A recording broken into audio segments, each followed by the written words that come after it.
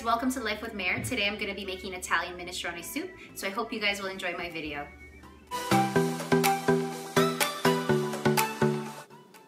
So the first thing you're going to do for your minestrone soup is you're going to take one white onion, you're going to peel it, and then you're going to dice it into small pieces.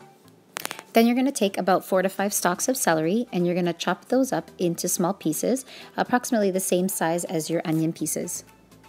For this recipe, I used about four large carrots. Now, if you don't have large carrots, you can just use baby carrots as well. They work just as good. So if you're using the big carrots, you're going to simply peel them and you're going to cut the ends off and make sure that they're nice and washed and clean. And then you're going to just chop them up into small pieces, probably about the same size as your celery and your onions as well. So the next vegetable that I used was zucchini. Now the zucchini is not going to be put in first with the carrots, the celery, and the onion, but it will be placed in the soup later on as you will find out. What would any Italian soup be without garlic? So for this recipe, you need to use about four to five cloves of garlic, and you're just going to finely chop those up, and those are going to be added to your soup as well. Once all your chopping is complete, you're going to put a little bit of oil inside your pot and you're going to add the celery, carrot, onion, and garlic mixture into that and just give it a nice stir and mix that all up.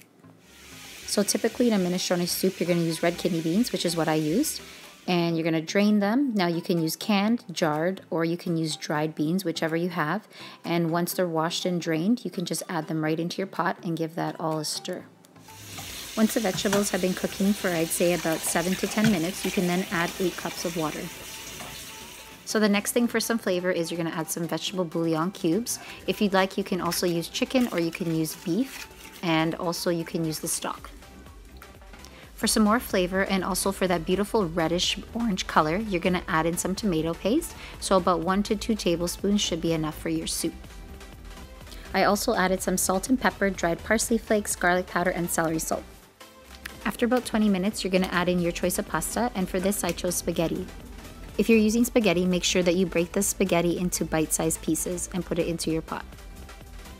You're going to continue to cook your soup on medium, and you're just going to stir it frequently until the pasta or the spaghetti is cooked, which could be about 10 minutes.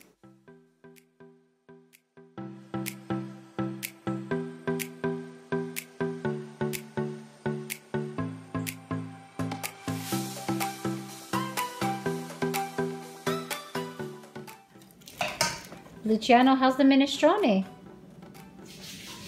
Is it yummy? Say yummy. Say yummy. Alright guys, so that's the end of my video. I really hope that you enjoyed it. And if you did, just give it a thumbs up at the bottom. And if you haven't subscribed already, you can subscribe and don't forget to click that little bell so you'll be notified when I do make another video. So take care guys.